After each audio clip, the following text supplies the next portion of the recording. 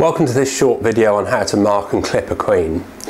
Now, I just wanted to talk you through the reasons why we do it because some people really don't understand what the purpose of doing these two jobs is. Some people who really don't understand anything about beekeeping will tell you that we clip the queen's wing to stop them swarming. That actually couldn't be further from the truth. Clipping a queen's wing does not stop bees swarming.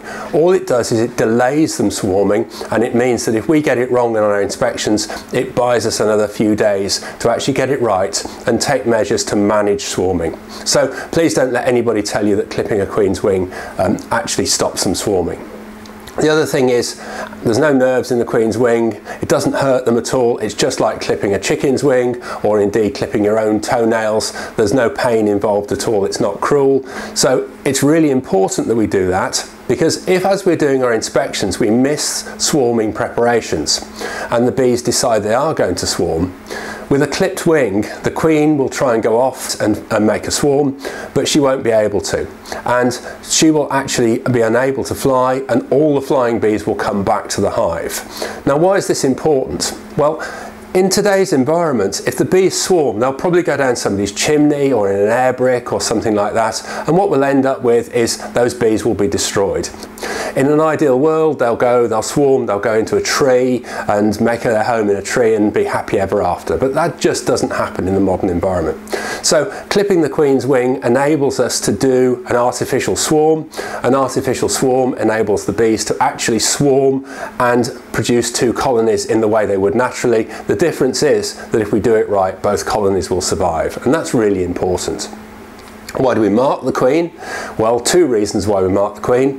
The first one is that we need to be able to find her, and having a blob of paint on her head actually makes her so much easier to find. The other one is there's an international marking standard, and that marking standard tells us how old the Queen is, so we very easily can see within a hive how old the Queen is.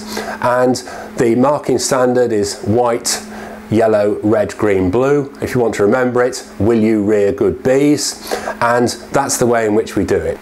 So we're going to go out and have a look at how to clip a queen and how to mark that queen. And You'll see on the video how to do that. It's a very quick, simple process, but I suggest you don't do it with your own queen to start with. Practice on a couple of drones to make sure that you're comfortable doing it. There are many ways of catching a queen. Some people will use a queen catcher, some people use a thing called a crown of thorns. Personally, I'm not keen on either of those. As you'll see, I catch my queens just with my hand, I just pick her up by the wing, doesn't do any damage whatsoever. Those flight muscles are incredibly strong.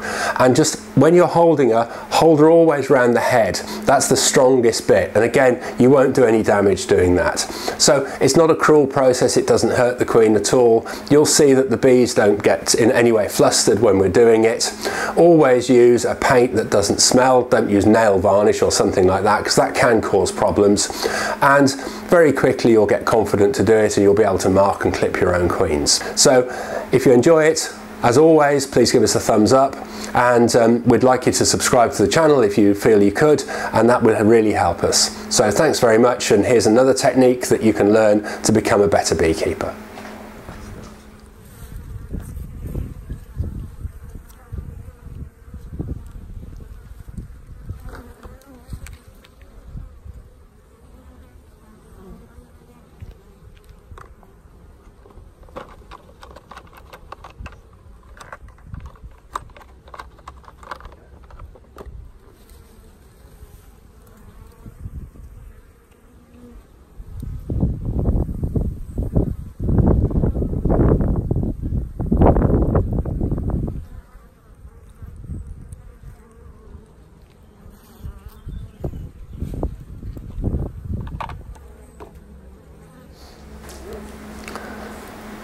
There we are then, how to mark and clip a queen. Relatively straightforward. You'll notice I'm, I'm actually right-handed, so I took my glove off my right hand. Even those medical examination gloves I feel are too much. I want to do that when I pick up a queen, I want to do it with my bare hands so I can exactly feel what I'm doing. And if you've got nice bees, there's no problem with that whatsoever as you saw.